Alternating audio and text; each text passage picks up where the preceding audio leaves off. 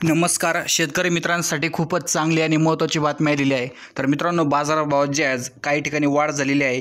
तर मित्रांनो आगामी काळात जे आहे बाजारभावात आणखीन वाढ होण्याची शक्यता आहे.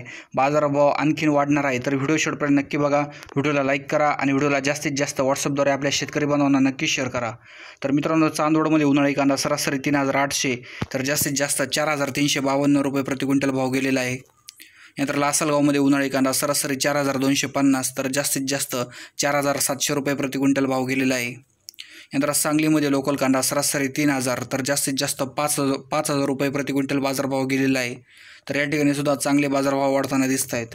नंतर मुंबईमध्ये सरासरी बेचाळीसशे पन्नास तर जास्तीत जास्त पाच हजार रुपये प्रति क्विंटल बाजारभाव गेलेला आहे. नंतर पुणे खडकीमध्ये लोकल कांदा सरासरी तीन हजार तर जास्तीत जास्त चार हजार चारशे रुपये गेलेला आहे. तर मित्रांनो हैदराबादमध्ये सरासरी चार हजार पाचशे तर जास्तीत जास्त सहा हजार रुपये प्रति क्विंटल बाजारभाव गेलेला आहे. तर धन्यवाद मित्रांनो आपल्या व्हिडिओ शेवटपर्यंत बघितल्याबद्दल.